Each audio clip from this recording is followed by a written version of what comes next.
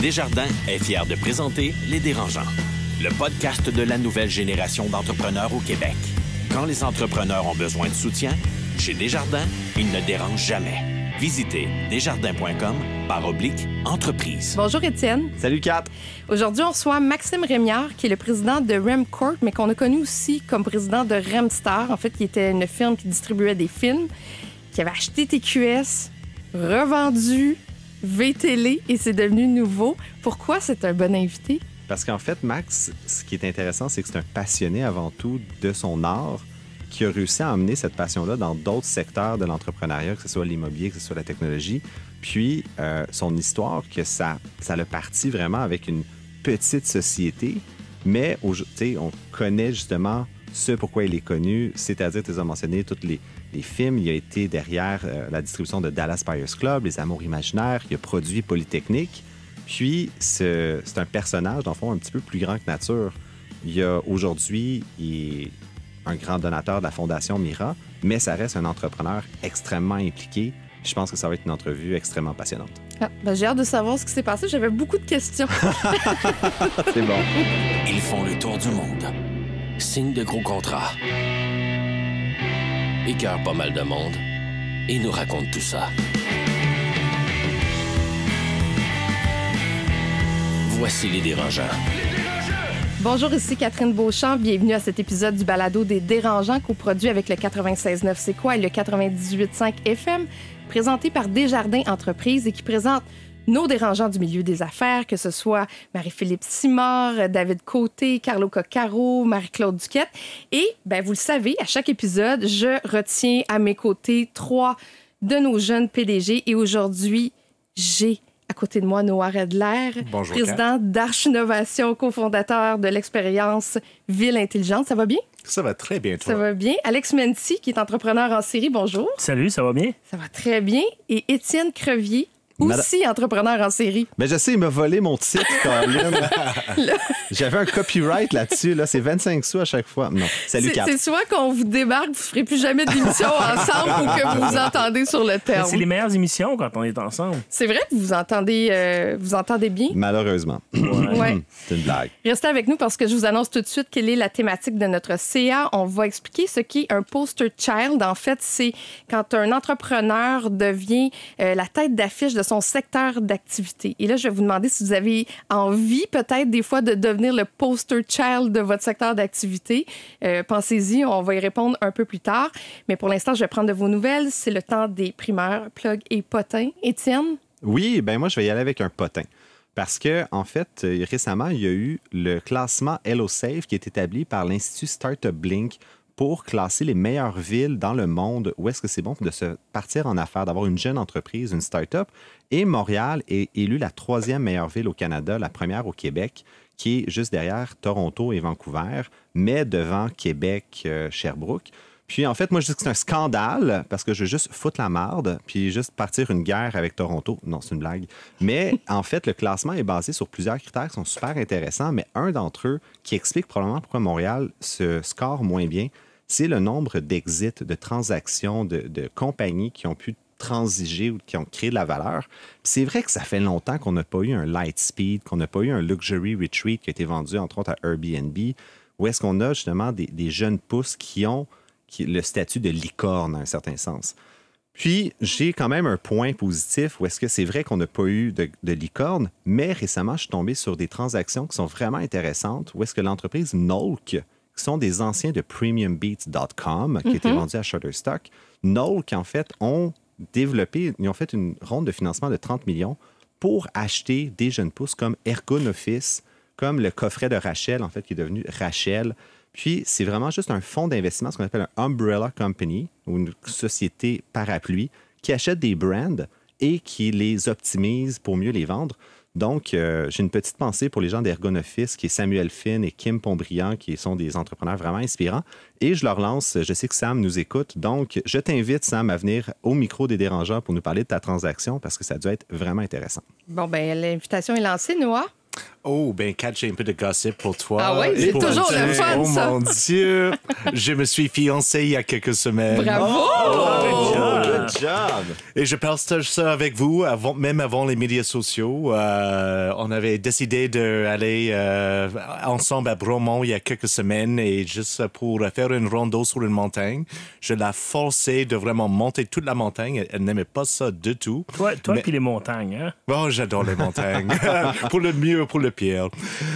Mais euh, sur le sommet, euh, je me suis mis sur un genou et j'ai posé la question. Wow. Elle a dit oui. Alors oui, très traditionnel, très classique. euh, mais voilà, euh, mariage à venir. Ben écoute, je vais texter ta blonde pour lui souhaiter toutes mes condoléances. Ah, ben, merci. je ne sais pas encore. Alex, est-ce que tu peux faire mieux que ça?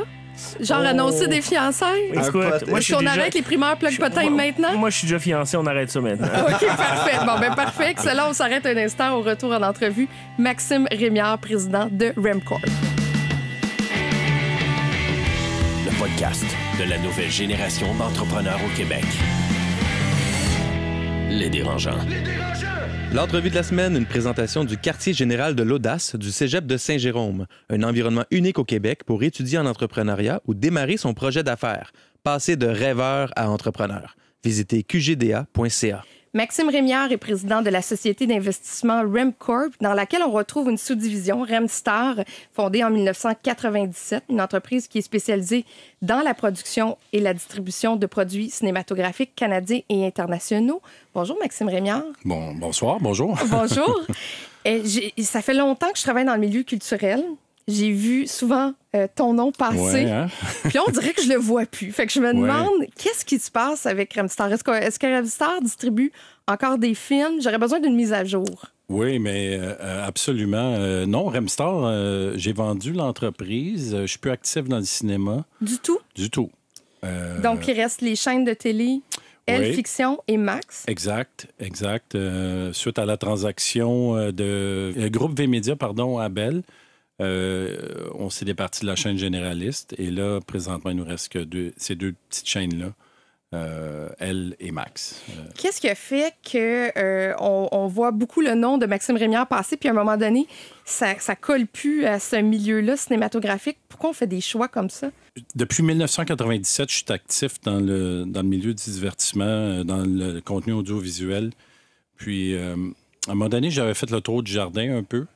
Euh, j'avais le goût d'apprendre un autre métier. J'avais le goût euh, d'adopter ma fibre entrepreneuriale dans d'autres industries. Et avec la transaction de Bell, euh, ça a été une, une opportunité pour moi de passer à d'autres choses. Ça a fait comme table rase sur ce milieu-là. Effectivement. Puis c'est un défi euh, qui a été euh, de taille. C'est le défi d'une vie pour moi de relancer une chaîne généraliste dans les circonstances puis dans les conditions. Le défunt TQS. Le défunt TQS, exact. Et euh, je pense que le fait que le plus grand, la plus grande entreprise en, en télécommunication au Canada euh, voit qu'il y a de la valeur à ce qu'on a fait, je trouvais que c'était un, un beau moment pour moi pour, pour quitter puis aller, je l'espère, mettre mon talent dans, dans- dans une autre industrie ou d'autres industries. Mais justement, on te connaît pour euh, TQS que tu as acheté, que tu as fait de VTL. On te connaît pour, en fait, certains grands hits polytechniques. Euh, tu as distribué Les Amours imaginaires, Voté Bougon.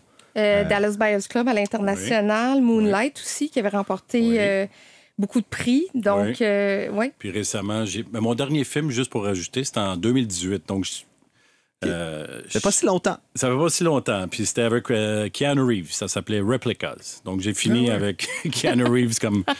Comme acteur principal. sur Netflix, hein, je pense. Exact. Ça été, euh, été vendu à Netflix. Mais je serais curieux de savoir, dans toute cette euh, saga, lequel projet te rend le plus fier dans ton aventure médiatique? Parce que tu as quand même étudié là-dedans, tu es allé en Californie pour, à l'University of Southern California, faire cette formation-là. Puis là, aujourd'hui, avant de parler de, de ce que tu fais puis du futur, euh, quand on regarde derrière, c'est quoi qui t'a rempli le plus de fierté? Euh, en cinéma, c'est sûr que Polytechnique euh, est en haut de la liste. Ça a été. euh, Ça fait le tour du monde. Ça a fait le tour du monde. Euh, j'ai travaillé avec des artistes et des art- artisans incroyables. C'est un sujet, évidemment, qui a marqué le Québec, qui était extrêmement sensible. Et euh, euh, travailler avec Denis Villeneuve, ça a été un, un vrai plaisir, puis un, un grand moment dans ma carrière de, de producteur. Ouais, tout le monde se l'arrache maintenant. Ouais, maintenant on voit où, où il, est ren- il est rendu, c'est assez incroyable. Mais, Euh, mais même, je peux me permettre, parce qu'on pense souvent à Incendie comme le début de la carrière inter- internationale de Denis Villeneuve, mais c'est vraiment Polytechnique. C'est vrai, hein? C'est Polytechnique qui a pavé le chemin pour Incendie, Puis par la suite, il a pris son envol qu'on connaît, là, mais ce film-là, parce qu'il nous en avait souvent parlé en entrevue, a été vraiment important pour sa carrière. Effectivement. Puis euh, Denis avait comme pris une pause cinématographique à l'époque, euh, se concentrait beaucoup en publicité. Et euh, c'est Polytechnique qui l'a ramené au, au grand écran. Donc, ça, a été, ça a été toute une. Ça a été vraiment une belle aventure. C'était difficile, ça a été dur.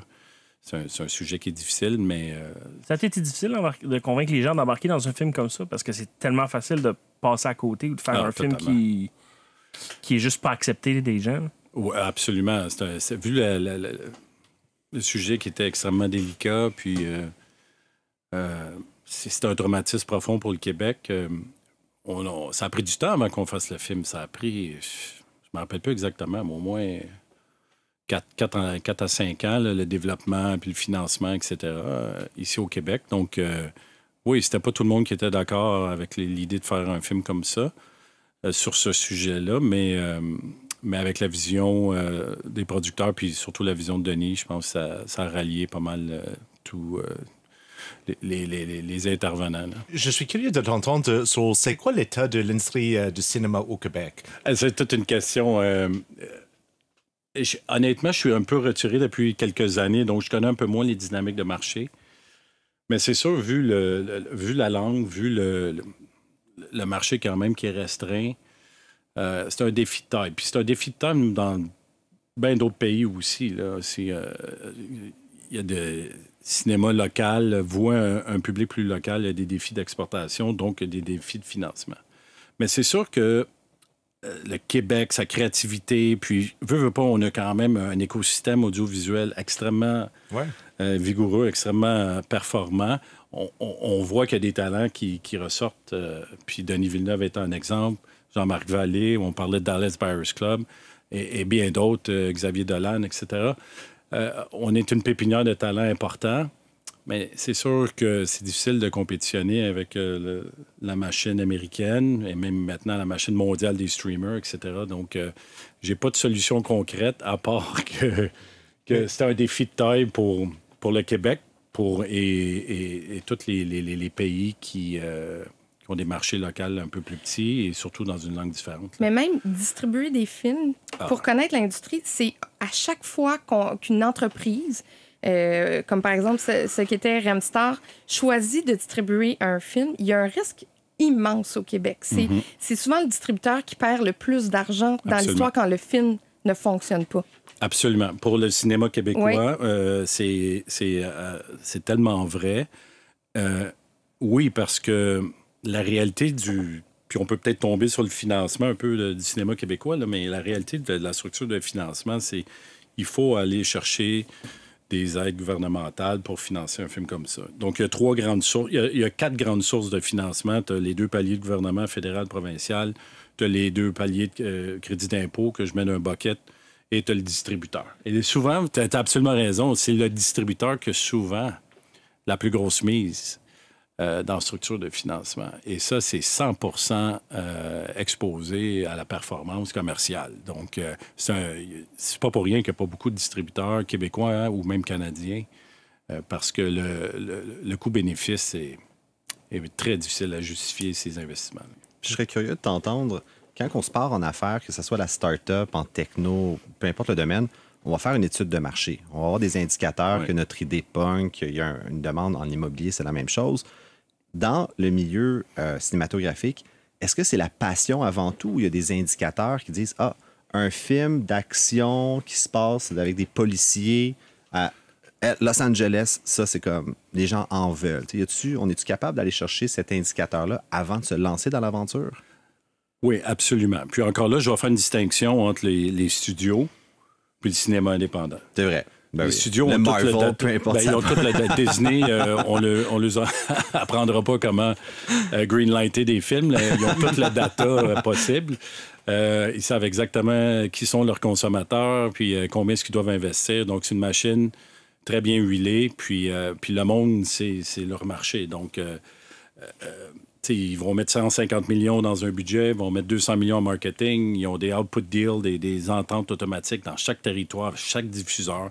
Donc, ils savent exactement plus ou moins le rendement, puis ben, le- le- les revenus, les recettes. Ils vont, ils vont savoir pas mal le rendement qu'ils vont avoir. Malgré tout ça, ils se trompent. Euh, quand même. Quand même. Ben quand même. Alors, imaginez le cinéma indépendant où tu le fais vraiment par passion, parce que tu es passionné par le sujet. Puis... Je dirais même par instinct. Par, instinct, oui, absolument. Il y a beaucoup d'instinct là-dedans, beaucoup de passion. Puis je vais parler pour moi, puis ceux que je connaisse, qui sont toujours actifs, puis s'ils ne font pas nécessairement euh, pour le rendement financier, mais c'est vraiment par passion. Euh, à part, euh, tu sais, on voit toujours les, les, plus grands artistes ou artisans à Hollywood. eux autres, c'est vraiment des, des, méga business, là, mais dans le cinéma indépendant, tu le fais par passion. Est-ce que c'est un peu par passion aussi qu'on se lance dans le projet d'acheter une station de télé en faillite? Ça prend quand même des cojones en acier. Là. oui. Tu sais, les red flags, là, ils devaient tout allumer. Ah, ils étaient tout allumés. euh, oui, c'est de la passion. Puis, ben, il y avait un historique aussi. Moi, j'ai eu la chance de partir mon entreprise très jeune. J'ai fait du contenu, comme je disais tout à l'heure, depuis 97. Puis, j'ai commencé une petite boîte de distribution qu'on on importait des films européens. Donc, on, mettait ça en salle. Puis... Prima Film. Prima Film, exactement, qui, ah avec, avec M. Armand Lafont, qui était mon mentor en distribution. Puis, et euh, donc, on, faisait du cinéma européen. Après, ben, on, veut, on, veut, on veut plus commercial, plus de part de marché, etc. On était dans du cinéma indépendant américain. J'ai vraiment tout fait, la distribution, euh, le financement, la production.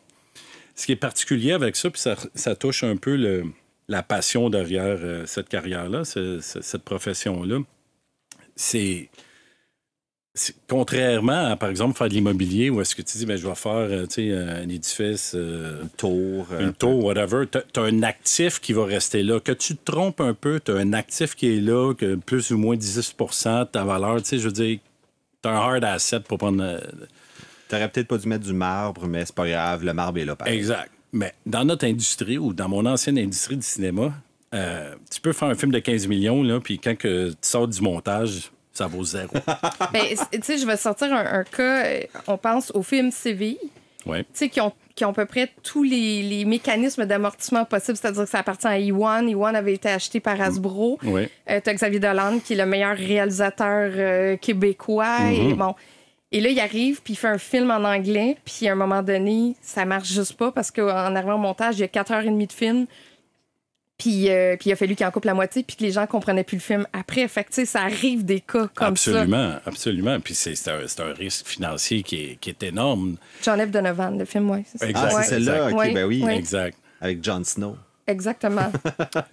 Et, donc, je fais un grand détour pour répondre à, votre question. C'est à un moment donné, après 10-12 ans, tu dis, mais euh, j'aimerais savoir une business qui est récurrente, que, où tu as, des actifs qui vont rester en place, qui vont s'apprécier, qui vont avoir un rendement sur l'investissement, etc., qui était très difficile d'avoir dans la business dans laquelle j'étais. Lorsque l'opportunité est arrivée de TQS, euh, moi, j'ai vu une opportunité justement de complémenter euh, cet actif-là à ce que je faisais historiquement dans le contenu. Et euh, c'est un défi qui me plaisait et que, que j'ai pris. avec succès, dans le fond, le, rebranding TV Télé, comme tu dis, ça l'a intéressé un joueur qui était belle au final, à la fin. Puis. Euh, c'est devenu nouveau. C'est devenu nouveau aujourd'hui, ça fonctionne encore. Euh, justement, comment tu te sens dans cet accomplissement-là d'avoir comme revampé cette business-là? Puis Qu'est-ce que tu ferais différemment peut-être si tu étais à ah, refaire? Il y a tellement de choses que je ferais différemment. Mais ça, c'est la pire question. C'est la pire question, mais, mais, en même temps, je t'en paix avec ça parce que ça a été le défi d'une vie pour moi. Euh, puis, puis, le diagnostic était vite, était assez clair quand on est arrivé là. Bon, la manière de l'implémenter, de, de, le mettre en place, était, aurait pu euh, se passer de maintes euh, différentes manières, mais mais euh, l'entreprise euh, était insolvable. Euh, elle allait fermer. Tout le monde allait être congédié. Et il fallait un gros coup de barre dans, le plan d'affaires puis dans son modèle opérationnel. Évidemment, on aujourd'hui, disons, ce que les gens se rappellent probablement, c'est la, fermeture de la salle de nouvelles. Mais quand on regarde les chiffres, là, la, salle de nouvelles perdait 10 millions de dollars par année. C'est mon C'était c'était écrit en néon, puis ça flashait. C'est un bloodbath, là. c'est un bain de sang. C'est un bain de sang. Puis, puis tu sais, euh, comparativement à nos compétiteurs qui ont plusieurs plateformes, dont des chaînes de nouvelles en continu, ils pouvaient amortir cette euh, infrastructure-là de nouvelles sur plusieurs plateformes. Puis encore, encore plus euh, pertinent, on a un compétiteur qui était financé par le gouvernement fédéral, qui était subventionné. En Alors, plus. comment nous, euh, Remstar, pouvait euh, tu sais, faire mieux que Cogeco. Alors, le constat était vite, était vite de dire on doit malheureusement abandonner les nouvelles, on doit repositionner la chaîne vers un public plus jeune et euh, on doit revoir notre modèle opérationnel de façon à être euh, très flexible, très agile. Et c'est ce qu'on a fait euh, dès, dès qu'on est rentré. Noah? Avez-vous vu ça dès le début comme un peu comme un projet comme de flipper une maison? Est-ce que c'était dans tes pensées? Euh, c'est sûr que euh, on- en, revoyant le modèle, puis en ayant un modèle plus léger, plus, plus, plus flexible, on savait que c'était pour attirer d'autres acheteurs. Tu sais, je pense qu'il y, avait des enjeux opérationnels qui faisaient peur à, à bien, à bien des grands joueurs dans l'industrie. La preuve, j'étais le seul qui voulait acheter l'entreprise. Je, je pense que il y avait pas, le, le- le modèle n'était pas vraiment euh, viable à long terme. Mais euh, il y avait plusieurs, plusieurs raisons que je voyais qu'on pouvait créer de la valeur. Puis à l'époque, puis ça, on, on oublie ça, mais à l'époque, c'était. Le CRTC avait euh, accepté de revoir le modèle de. Puis excusez l'anglicisme, là, mais de fee for carriage. Il n'y a aucun problème avec moi. Ah oui, c'est ça. Non, OK, mais mettons pour les auditeurs, c'est quoi un Euh, fee Fee for for Carriage, c'était, vous savez, à- au même titre qu'une chaîne spécialisée comme Canal D euh, droit de vendre la pub et reçoit des redevances des câbles distributeurs. Les chaînes généralistes militaient depuis des années pour dire, ben nous, nous sommes les chaînes qui, qui sont le plus regardées. Elles sont distribuées par les grands câbles distributeurs ici au Canada. On devrait avoir une redevance à même titre que les chaînes spécialisées. Et fait intéressant, c'est que beaucoup de pays européens ont déjà ce modèle-là depuis 20 ans et les Américains ont ça depuis une trentaine d'années. Juste pour vous donner un exemple, à l'époque, CBS, ça représentait 2 milliards par année, juste les redevances câbleau distributeurs. Wow. Alors, ça, ça boucle ton budget de façon différente un peu. Ça start bien, tu sais. Ça start bien l'année. tu sais, Tu peux compter déjà sur ces sommes-là. Et 100 au- millions pour toi, 100 millions ici, puis t'en restes quand même 1,8. Exact. Et, et ça, le CRTC avait dit on est ouvert à regarder ça de près. Alors, ça, ça aurait changé le modèle complètement. Ça, ça aurait amené des sommes substantielles euh, dans la programmation, dans, dans- dans le déploiement de la chaîne. Et, euh, et malheureusement, à minuit moins une, le CRTC, pour des raisons qui n'étaient pas tout à fait claires, euh, a décidé de ne pas mettre en place ce système-là et donc a, a- a perduré un, un- un système qui était injuste pour les opérateurs de télévision euh, généralistes. Et ça, ça, ça a mis un peu de plomb dans, dans nos ailes. Et, et parallèlement à ça, il y a eu Musique Plus. Musimax, qui Oui. sont maintenant les chaînes euh, Elle Fiction et Max. exact. Est-ce qu'on a tué Musique Plus avec, euh, avec le groupe V-Média? Est-ce que, Non, est-ce que mais- vous êtes responsable Ben, du départ de Musique Plus? Les gens sont encore très, très nostalgiques à Ouais. l'idée de Musique Plus. Malheureusement, il y a beaucoup de jeunes nostalgiques, mais il n'y a pas beaucoup de gens qui l'écoutaient. c'est- un peu comme les nouvelles à TQS. Mais, mais, euh, mais là aussi, c'est un constat où euh, la compétition, notamment de YouTube, tout ça, ça avait vraiment sévi, puis avait, avait mis en, en- avait mis euh, le modèle euh, d'affaires de Musique Plus euh, vraiment un petit peu précaire. Donc, le, euh, on a- le constat était rapide aussi. là. À, même, à même titre que le constat était rapide euh, chez TQS, euh, chez Musique Plus, continuer dans ce créneau-là, c'était euh, c'était une mort annoncée. là. Je vous donne une anecdote intéressante qui, qui illustre très bien le, le- le problème qu'on avait à l'époque. Musique Plus, dans ses conditions de licence, devait octroyer une partie de ses revenus dans la production de, de vidéoclips québécois. Donc, Ah ouais? Oui, c'est une condition de licence. Je pense que c'était 1% des revenus. Puis, euh, on, on- on investissait dans des vidéoclips québécois. Et euh, lorsque je suis arrivé, j'ai dit, ben, on va essayer de. D'accord à investir dans les vidéoclips québécois, mais on va avoir l'exclusivité sur la chaîne. Ben oui. Et tous les artistes voulaient pas, ils voulaient être sur YouTube avant. Ah Alors, j'ai dit, bon, déjà ben le début, là. Ouais, c'est- là, je disais, OK, là, on- je pense qu'on a un problème. Est-ce que ces, ces deux chaînes-là, Elle Fiction et Max, fonctionnent bien? Parce que vous les avez Oui. gardées Oui. euh, avec, euh, quand, quand il y a eu l'échange et que ça a été vendu à Bell et que VTL est devenu nouveau. Moi, je me suis longuement questionnée en me disant, mais pourquoi ces deux chaînes-là restent dans le groupe? Qu'est-ce qu'elles vont devenir et c'est quoi leur avenir aussi?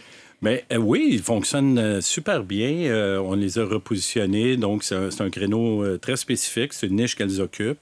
Euh, nos, clients, nos consommateurs euh, aiment la programmation. Puis, on occupe justement un, créneau euh, qui est propre à nous. Donc, les chaînes sont rentables, vont bien. C'est un environnement difficile pour tout l'écosystème, mais les chaînes vont bien et s'ils continuent à faire de l'argent, je vais continuer à les opérer. OK, fait que ça, ça fonctionne bien. Ça fonctionne. Aujourd'hui, Ramcorp, qui est ta société d'investissement, en fait, est actif dans la technologie, l'immobilier, l'agrotechnologie. Puis tu dis euh, que, dans le fond, c'est tous des secteurs qui ont en forte croissance, qui ont un bon potentiel. C'est quoi ton gut feeling sur les secteurs à fort potentiel en ce moment? Qu'est-ce qui a de l'intérêt? Ben, c'est sûr, il y a tellement de secteurs euh, à fort potentiel. Puis, puis- Mais c'est ça, c'est mon gars, là, on s'en perd un peu. Tout le monde va- exact. C'est la meilleure chose depuis le pain tranché à chaque jour, un peu. Euh, exact, exact. Puis je suis un peu agnostique un peu à, à l'industrie et qu'à l'industrie, mais euh, il y, a- il y a tellement d'opportunités et euh, j'ai moi, moi, moi, depuis euh, disons que depuis que j'ai cessé de faire du contenu, tout ça, ce que je, ce que je fais avec ma société Remcorp, c'est vraiment de la gestion de patrimoine. Donc euh, ce qu'on appelle un family office. Exact, exact. Donc, euh, c'est une, gestion plus passive euh, dans différentes classes d'actifs. Puis, on, on veut diversifier, puis on va avoir un meilleur rendement en, en diminuant le plus le risque euh, euh, associé à ça. Est-ce que tu te fais submerger par les offres d'investissement ou est-ce que tu es proactif pour les trouver? Mais la stratégie que, que j'adopte depuis, euh, depuis quelques années, c'est que je, je fais de l'investissement direct dans des sociétés. Donc, j'ai toujours mes, mes, antennes, puis j'ai- je, je m'assure d'avoir un, un certain deal flow. Mais la stratégie que j'utilise, c'est que j'investis dans des fonds de private, de private equity, donc d'investissement privé. Que eux, évidemment, ont un- un, Une structure, une structure beaucoup plus large avec là. un deal flow euh, beaucoup plus important. Et bon, ça amène aussi une gouvernance, ça amène euh, une, euh, une structure de vérification diligente beaucoup plus poussée que- que- qu'un groupe euh, comme le mien. Ça te demande moins de ressources aussi. Moins de ressources, alors ça nous permet d'avoir une vue beaucoup plus généraliste sur l'ensemble euh, du, du capital qu'on déploie. Et euh, ça vient avec euh, des, des pour et contre, mais moi, c'est la stratégie que, que j'utilise depuis quelques années. Ça vient avec moins de lumière aussi. Parce que, euh, habituellement, tu- ben, que je, tu sais, je l'ai dit en début d'entrevue, le nom Maxime Rémiard, on le connaissait. c'était- Mhm. Là, il est davantage dans l'ombre. Ouais. Est-ce que ça, ça peut venir déranger l'ego ou l'homme ou. euh, Non, pas du tout. Au contraire, je trouve euh, c'est- une, une question intéressante, Ca- Catherine, parce que moi, disons, les lumières, j'ai jamais voulu ça. Non? Non, puis peut-être j'aurais dû y penser avant d'acheter TQS. Mais j'ai jamais voulu ça. J'ai jamais été à l'aise de- de- d'aller devant les médias, dans les interviews, les journalistes. Moi, j'aime ça, être low profile. Puis ce que je vis présentement, c'est bien parfait. Ah oui, OK. Donc, Ouais. t'es plus heureux comme ça? Oui, je suis très heureux. Puis, euh, ouais, c'est. Puis, je, je, je, je regrette pas mon, mon expérience. Au contraire, j'ai eu, euh, j'ai eu du fun. Puis, ça a été euh, un défi euh, incroyable. J'ai travaillé avec des gens extraordinaires. Mais là, j'étais prêt à passer à d'autres choses. Puis, euh, que ça soit un peu moins euh, sous les projecteurs, euh, ça me convient parfaitement. Charlie Theron puis Matthew McConaughey te manquent pas trop, trop? Ouais, ben. je- C'est du bon monde. Charlie, euh, je peux comprendre. hein. Ben, c'est c'est sûr que j'ai eu beaucoup de plaisir dans le cinéma aussi parce que tu rencontres des gens tellement intéressants. Puis on parlait de passion, créativité, tout ça. Je pense que c'est vraiment les, les- les attributs puis les, les- les- les adjectifs que je décrirais, cette industrie-là. Puis tu rencontres... Moi, dans mon cas, j'ai été chanceux. J'ai travaillé avec des, artisans, des artistes des artisans euh, euh, parfois de, calibre euh, international. Puis euh, c'est sûr que c'est enrichissant, puis c'est motivant, stimulant. Des fois, des fois, je pense que, ah, peut-être, un, un de mes- un de mes amis m'a appelé la semaine dernière, il dit, ah, je vais faire tel, tel film, ça te tente-tu d'embarquer avec moi? Mais je suis comme, Euh, La fibre, hein, les la fibre, Ah, peut-être, ah, peut-être, les- dépendamment si les, les conditions sont, sont correctes ou, ou ce que je regarde beaucoup, puis j'adore ce format-là, c'est les documentaires. Ça, j'aimerais Nice. ça. Ça, c'est peut-être quelque chose qui me ramènerait dans l'industrie. Sur un sujet spécifique ou n'importe quoi? Bah, tous les sujets. Moi, j'ai- j'aime ça. Je suis curieux de nature. Puis je pense que Netflix, Netflix a fait un job extraordinaire de démocratiser le- la, la série documentaire depuis des années, depuis le début, Avec des gros budgets en plus. avec des gros budgets. Ouais. Puis là, on regarde la qualité, on voit la, la- la- la- la réalisation en arrière de ça. Je trouve que c'est c'est un, c'est un support qui est aussi efficace que la fiction. Et euh, là, encore une fois, c'est un modèle d'affaires qui peut avoir une rationnelle financière en arrière. Et Puis pour finir, peut-être sur euh, un conseil aux auditeurs, le- et je cite le Journal des Affaires ici, tu as la réputation d'être un gentleman, mais avec un, petit, un, un côté dur. Euh, comment tu gardes la juste balance entre les deux? Mais ça, c'est, j'ai- j'ai- moi, je, je me considère pas comme dur. Mais je pense que la recette, c'est de s'entourer de gens qui sont durs. Puis ça, ça m'aide à, ça m'aide à, à prendre les bonnes décisions. Mais moi, je je, je, me considère pas comme une personne qui est, qui est tough. En affaires, j'aime, j'aime, euh, j'aime plus l'idée du projet puis de la création en arrière, que ce soit immobilière ou, ou cinématographique. Fait que l'objectif. L'objectif, exact, de bâtir, de créer, de travailler en collaboration, ça, ça me stimule. Euh, lors de la négociation, hard nose, c'est pas, c'est pas nécessairement euh, qu'est-ce que je préfère, mais si je m'entoure de gens que eux autres sont bons. Mais, mais est-ce que c'est vrai que dans une transaction, il faut que les deux protagonistes soient contents, au bout de ligne? Ouais, ça c'est. euh, En théorie, en théorie. OK, c'est juste une théorie, Ah, OK. Ouais, en théorie, mais euh, je pense. euh, je sais pas si c'est une légende urbaine, mais euh, euh, c'est sûr que c'est toujours plus, euh, c'est toujours plus facile puis plus gratifiant quand c'est un win-win, comme on dit. Donc, euh, si t'es deux à avaler la pilule, c'est plus tough. c'est ça. Exact. Ben, Maxime Rémiard, merci beaucoup de nous avoir éclairé sur euh, le milieu télévisuel et cinématographique. Ben merci à vous. On a appris dernièrement que le Gala Québec Cinéma s'en allait des ondes. Ben C'est oui. une- Est-ce que c'est une mauvaise nouvelle pour le milieu cinématographique? Oui, absolument. Je crois que c'est une mauvaise nouvelle pour l'industrie parce que toute visibilité qu'on peut donner à notre cinéma euh, québécois, c'est de la visibilité. euh, c'est c'est très positif et euh, j'espère que, que les, les- les gens en charge vont trouver une solution pour, Ramener pour ça. garder cette fenêtre-là euh, sur- pour- au public québécois. Donc, euh, je trouve que c'est c'est décevant. Merci beaucoup, Maxime Rémiard. Merci. Merci, merci, à vous. Merci. Le podcast de la nouvelle génération d'entrepreneurs au Québec. Les dérangeants.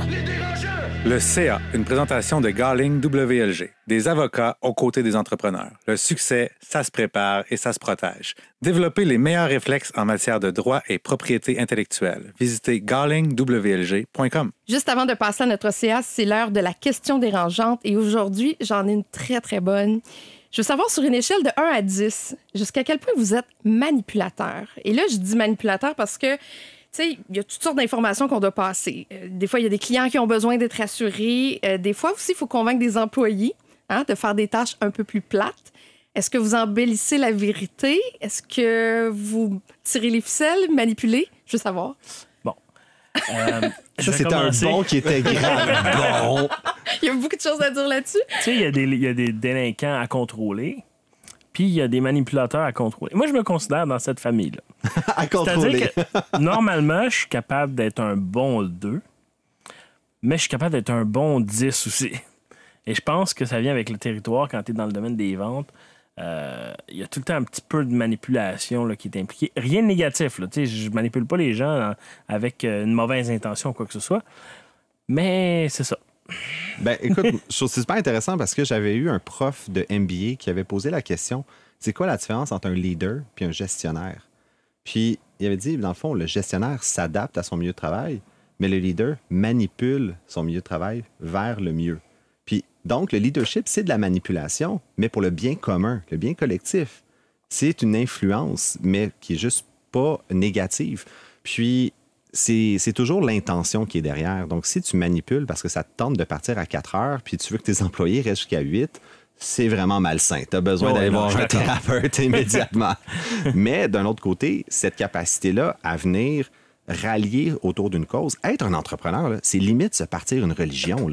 C'est limite être un Jésus des temps modernes, puis de rallier du monde autour d'une cause Fait qu'il faut être un petit peu manipulateur, selon moi.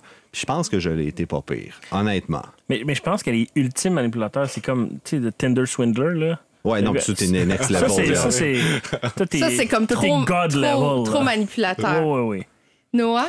Mais je pense que j'aime pas trop ce mot manipulateur parce que c'est vrai que. Influence, influenceur. Exact. Ben, peut-être pas à ce niveau. Juste là, c'est manipuler faire ça. Ben, ben, c'est vrai, comme, like, comme entrepreneur, c'est nécessaire de, euh, assez souvent de mettre une spin assez positive sur des choses qu'on a à dire. Non, le rapport ou notre livrable n'est pas en retard, euh, monsieur, madame client. Ça va être juste même mieux dans quelques jours. Non, vous n'avez pas besoin de travailler trop tard ce soir. On va travailler ensemble. Tout le monde doit travailler jusqu'à tard ce soir. Alors, il faut vraiment être, plus devenir une figure inspirante. Il faut convaincre les gens de vous suivre, de partager votre vision et de vraiment participer, euh, de travailler avec vous parce que dans la vie, les choses ne vont rarement euh, d'une façon parfaite. Et des fois, on a des informations qui sont pas positives. Il y a des choses à partager qui, euh, qui nous mettent dans une mauvaise lumière. Mais on va pas arriver et dire que, like, hey, euh, j'ai juste complètement oublié de faire le travail ou j'ai regardé House of Dragons et la veille, alors j'avais pas le temps. Alors, je dois dire quelque chose un peu plus positif. Donc, pour le procès verbal, on est trois qui s'assument manipulateur. Ce qui est bon, je pense que tout le monde finit par manipuler quand même. Mais toi, euh, Catherine, comment tu te considères? Euh, Oh. Est-ce que je suis manipulatrice? Oui, je pense que je peux l'être, comme bien des gens, mais euh, j'essaie de. Pas nécessairement de servir toujours mes intérêts. Tu sais, moi, je veux dire, ma business présentement, c'est la radio. Donc, on sert une émission de radio. C'est vrai. Alors, je vais pas servir nécessairement mes intérêts personnels, mais moi, je vais beaucoup pour le show, pour l'émission de The show radio. must go on. Oui, puis c'est vrai que des fois, il peut y avoir des jeux de coulisses, des discussions et tout ça.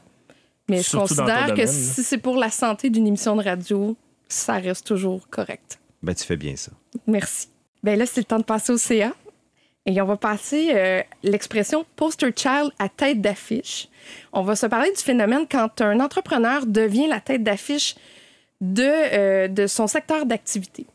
Est-ce que c'est une bonne chose de devenir la tête d'affiche de son secteur d'activité? Est-ce que vous l'avez déjà été? Je commence rapidement un petit tour de table. Toi, Étienne, t'en penses quoi? Mais je pense, je pense que j'ai été le plus. Tu penses? je, je confirme que j'ai été le plus tête d'affiche et le plus sensible à ça. Parce que, en fait, ce que je réalise, c'est que le terme poster child, c'est vraiment quelque chose qui s'applique au milieu des affaires.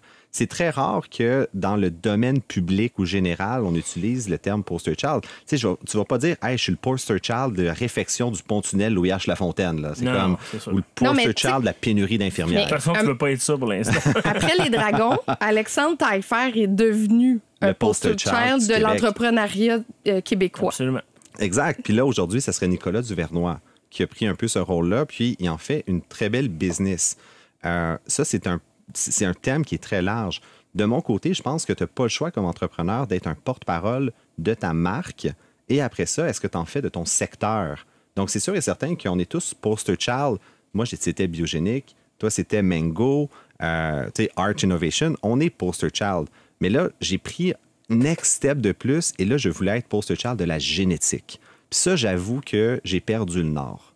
Ou est-ce que ça devient vraiment, ça te colle à la peau, t'es monsieur génétique, puis là, c'est comme, mais c'est-tu mon identité? C'est-tu ça que dur je à se veux? dissocier de ça après. C'est- Est-ce que c'est lourd à porter? c'est extrêmement lourd à porter. Tu deviens un peu schizoïde dans ton day-to-day. Puis ça devient, moi j'appelais ça le masque, j'appelais ça le personnage. Puis là, j'étais comme showtime. Mais là, c'était tout le temps. Et là, le showtime, quand est-ce que tu prends une pause, finalement, tu deviens le personnage. Puis là, c'était pas, de mon côté, c'était pas comme Nicolas Duvernois où est-ce que les gens m'arrêtaient dans la rue, mais j'allais dans les conférences, j'allais dans les congrès, et là, ça devenait vraiment, euh, je pouvais pas faire 5 mètres sans que les gens m'arrêtent puis viennent me parler, puis il fallait toujours être high. Là, tu goûtes un peu à c'est quoi le star system, et là, j'ai compris que j'allais vraiment déraper si je continue dans cette euh, voie-là, personnellement. Fait que toi, Alex, euh, moi, j'ai pas été le poster child de, de mon industrie, loin de là. Euh, mais je pense que des fois, il y a deux choses. Si tu veux devenir le poster child, c'est une chose. Si ça se fait naturellement parce que tu as beaucoup de succès, ben, faut que tu réalises que si à un moment donné tu te plantes, ben, tu vas te planter devant tout le monde, puis ça va faire vraiment plus mal. Fait que moi, je pense que c'est un petit peu dangereux. Euh, Ça, ça, c'est l'ego, là. Ouais, exact. Euh, Quand ça fait mal, souvent, c'est que ça touche à l'ego. Oui, c'est ça. Alors, je pense que c'est difficile à dire ce temps-ci parce que de devenir poster child, on peut aussi appeler ça du personal branding. Like, Ouais. Et aujourd'hui, like, la marque de mon entreprise, c'est la marque Noah. Quand les gens achètent les services d'achat-innovation, les gens sont en train d'aller, à- sont à la recherche de mes expertises, de mes talents. Alors, c'est un peu la même chose et Mais c'est super dangereux. c'est très dangereux Parce parce, que tu peux pas vendre ton entreprise. Je, je peux juste vendre moi. Et c'est extrêmement dangereux. Mais moi, je dirais que j'étais un peu sur le bord. Quand j'étais à la maison Notman, c'était très important de vraiment devenir une poster child de la communauté startup, de agir un peu comme une porte-parole. Mais c'est pas naturel pour moi. J'ai, même si je suis ici sur une balado les dérangeants, je, je, me mets dans le, je me mets euh, dans l'œil public, euh, si on peut dire. Euh, je suis pas à l'aise avec ça. Je suis pas à l'aise avec les gens qui euh, m'approchent dans la rue et disent Hey, j'aimerais vous parler de l'innovation. Euh, non, je, ça c'est mon 9 à 5. Euh, là, je suis, je sors pour une souper avec euh, ma conjointe, ma famille. Je veux pas parler de l'innovation aujourd'hui. Alors, faut la- ass- assumer un peu, mais je suis d'accord, il y a un certain danger. Mais on en parlait un petit peu euh, en fin d'entrevue avec Maxime Régnard. Il y a des gens qui aiment ça être dans la lumière, puis il y a des gens qui aiment pas ça être dans la lumière, qui veulent justement rester entrepreneurs, puis qui, qui sont bien à l'aise de, de- d'être derrière, en coulisses, puis de pas voir. Pour vous, là, c'est, quelque chose. Est-ce que vous, vous sentez que vous avez besoin de ça? Mais je dirais que en devenant entrepreneur, mon cerveau a changé un peu. Je me suis un peu accepté que je dois avoir une figure, je dois avoir un brand de Noah quelque part dans le monde. Sinon, les gens vont avoir zéro confiance en moi. Et c'est drôle, mais quand votre visage est dans un article médiatique, quand vous êtes sur le poste de À la télé. à la télé, c'est la crédibilité, même si c'est pour pas grand chose ou si les gens ne comprennent pas pourquoi vous êtes sur la télé, euh, sur la télé, euh, vous êtes là. Alors les gens vous donnent une certaine confiance naturellement. C'était Jean-François Mercier. euh, Jean-François Mercier disait c'est le phénomène Coca-Cola à vanille. S'ils sont capables de vendre du Coke à vanille en faisant des pubs à TV, tu peux vendre n'importe quoi. Mais aussi, c'est que quand on, on porte un secteur d'activité, on se retrouve à parler pour des collègues, pour des compétiteurs. On se retrouve à parler pour un paquet de gens. Donc, il faut être un peu au courant de tout ce qui se passe, puis il faut être aussi euh, ben, au courant de tous les courants de pensée. C'est-à-dire qu'il peut y avoir quelqu'un dans notre propre secteur d'industrie qui n'est pas d'accord avec ce qu'on raconte publiquement. C'est un, faut avoir des aptitudes politiques. C'est ce qui se rapproche le plus en entrepreneuriat de la politique. Tu ne deviens pas entrepreneur si tu n'aimes pas ça, des problèmes complexes, si tu n'aimes pas ça, régler des problèmes. Comme tu ne deviens pas politicien si tu n'aimes pas ça, régler des problèmes. Fait que c'est là que ça peut jouer un peu, puis c'est pas pour rien qu'on voit les deux sphères d'activité se, se mélanger, des gens sauter de un à l'autre. Mais, euh, tu sais, des Ricardo de ce monde-là qui portent euh, justement le, le concept de la cuisine, des, des recettes, euh, puis des produits. Euh, a des mots-clés sur Internet. des mots-clés. Puis, tu sais, qui, qui est allé en, en croisade contre Google, qui a changé son modèle d'affaires. Bien, c'est sûr que Ricardo, il est extrêmement sympathique, mais en même temps, il fait tout la- le, le- le travail terrain pour tous les autres au Québec, les chefs cuisiniers à tatou, comme on disait. Puis ça, c'est extrêmement lourd à porter. Puis il le disait en entrevue, Ricardo, c'est pas payant d'être poster child. Non. Mais, mais ça, c'est un- je pense que c'est des poster child accidentels. Tu sais, Je pense que c'est- Ricardo, c'est accidentel? Non, mais ce que je veux dire, c'est que je pense pas que c'est levé un matin et dire je vais devenir le poster child de la cuisine. C'est son succès qui en a fait de lui un poster child. Tu sais, Ben, il a euh, décidé d'investir les heures pour être à Radio-Canada, pour comme. C'est sûr, c'est sûr. Sauf qu'il y a une substance derrière pour le backer. Il y a des gens qui sont très, très visibles dans leur industrie. Fait que toi, tu me dirais, si on t'offrait un contrat à Radio-Canada d'être chroniqueur, tu dirais non. Ah, c'est sûr que non. Ah ouais? Ah, c'est sûr que non. Tu sais, je chronique quoi? Tes deux filles à la maison. Mais, non, mais ce que je veux dire, c'est qu'il y en a qui sont très visibles dans leur industrie, mais la substance derrière eux, là, on en connaît tous, là, des entrepreneurs comme ça, c'est très, très faible. là. Exact. c'est vrai. Tu sais, t'as des Nicolas Duvernois, c'est votre cas, c'est la meilleure au monde. Je pense pas que quand il a fait ça, c'était le but de devenir le, le représentant des spiritueux au Québec. Par contre, son succès en a fait que, ah, ben, si lui fait ça comme ça, ça doit être la bonne Mais, façon. mais c'est un peu comme euh, si on fait un parallèle avec les, les plus jeunes qui disent Moi, je veux être connu dans la vie, là, qui, Ouais, qui ont exact. même pas, qui ont même pas choisi d'emploi, ils veulent juste être connus. En, en- quand on, de- on devient entrepreneur, on dit pas je veux devenir poster child, Non. on le devient par la somme des expériences. Complètement. Puis c'est ça qui est fou, en fait, c'est que ce- ce- cette voie-là de croissance dans, son, dans l'entrepreneuriat, d'être le poster child, il y a de la compétition. Il y a de la compétition pour gravir le titre. puis tu es plusieurs, puis c'est- tu te rajoutes une complexité supplémentaire. Non seulement tu essaies de rentabiliser ta business, tu essaies d'agrossir, mais en plus de ça, tu te rajoutes une charge d'un- d'une euh, implication sociale de soir. C'est comme si c'était deux business. Tu as deux business. Tu as ton brand personnel, tu as ton brand à bâtir. Puis on l'a vu, tu sais, au Québec, il y a eu Véronique Cloutier, Julie Snyder qui se battaient un peu pour le même titre de, euh, de la, la dame de la télévision, la reine de la télévision. Puis je pense que ça, ça- ils ont trouvé leur place chacune d'entre elles. Mais tu joues du coude, euh, tu reçois des balles curves. Finalement, tu mets à risque aussi ta business d'un petit scandale parce que là, il y a une, on se tire la pipe puis on s'est chicané, à tout le monde en parle les deux un devant l'autre. C'est quand même un, un niveau de complexité de plus. Par contre, quand ça pogne, quand tu gagnes, hey, c'est payant. Tu sais, Moi, la, la rumeur veut que Nick, il vit aussi bien de sa vodka que de ses conférences. Fait que c'est là que ça peut, tu te rajoutes quand même un T4 très intéressant en fin de l'année. Mais c'est ça l'autre effet, que quand tu es trop dans la lumière, tu, tu deviens targeté par des autres. Alors, vous, vous, euh, vous êtes en haut, vous êtes sur le sommet de votre carrière, les gens vous voient comme le meilleur dans votre secteur, dans votre industrie, et vous, êtes, devient, vous devenez les personnes à battre. Et on voit des gens qui disent n'importe quoi en ligne, des paroles racistes, sexistes, euh, n'importe quoi, et personne dit quoi que ce soit. Mais si c'est une vedette, si c'est une personne un peu reconnue qui peut, où on peut mettre, euh, où on peut mettre le nom dans les médias et ça devient du clickbait, mais ça devient autre chose. Alors, il faut vraiment savoir quoi attendre quand vous, euh, quand vous mettez votre nom dans le, euh, dans le domaine public. C'est vrai, puis tu sais, je réfléchis en ça en même temps. Tu sais, la meilleure façon de commettre un poster child, c'est de réussir en affaires. Absolument. Les Desmarais, les Pelado, les Saputo, les Guzzo, ils n'ont pas travaillé leur brand personnel en même temps. Ils ont juste une business qui fonctionne. Fait que focus sur ta business. Si ça marche, tu vas être un poster child. C'est indéniable. Puis moi, j'admire le parcours des Desmarais. Ils sont très peu les nouvelles. Tu sais, c'est comme, s'ils sont les nouvelles, c'est pour les bonnes raisons. Ils sont pas sur TikTok, hein? Paul G TikTok. fait que ça revient à dire, tu sais, si tu as de la substance, comme tu dis, Alex, si tu es capable de livrer la marchandise, donc sans- dans ta business, c'est intéressant. Donc, si tu es trop poster child, c'est à se poser la question, as-tu vraiment une business qui fonctionne? Exact. C'est vrai. Et c'est like, je connais des entrepreneurs qui sont devenus des poster child avant le succès. Et je connais plusieurs startups. Comme Étienne Crevier. on, on parle pas de lui. Non, non, mais je connaissais une, start, euh, une jeune entrepreneur qui avait une technologie assez intéressante, mais c'était une technologie proposée. Il n'a- il n'avait jamais un produit qui fonctionnait, il n'avait jamais un vrai prototype, il n'avait jamais commercialisé ou vend, il n'avait jamais vendu son produit, mais il était dans tous les magazines, l'entrepreneur dans l'année, il n'a jamais levé une sou de financement, mais son histoire, il y avait une belle histoire, mais il n'y avait rien derrière. Et quand il plaidait faillite, tout le monde disait Oh, c'est dommage, oh, tant pis. Mais c'était prévisible. Mais c'était prévisible. Elisabeth Holmes. Job de Mike. Eh bien, ben merci, c'est déjà tout. Je voulais remercier notre invité, euh, Maxime Rémiard, qui est président de RemCorp, qui était avec nous un peu plus tôt. Les trois dérangeants, merci. Alex, merci Étienne, merci Grand Noah. plaisir. Merci, Kat. Et merci à la maison de nous avoir euh, écoutés jusqu'à ce bout de balado. Et c'était Catherine Beauchamp qui vous disait à la prochaine pour un autre épisode des Dérangeants. Le podcast de la nouvelle génération d'entrepreneurs au Québec. Les dérangeants. Les dérangeants!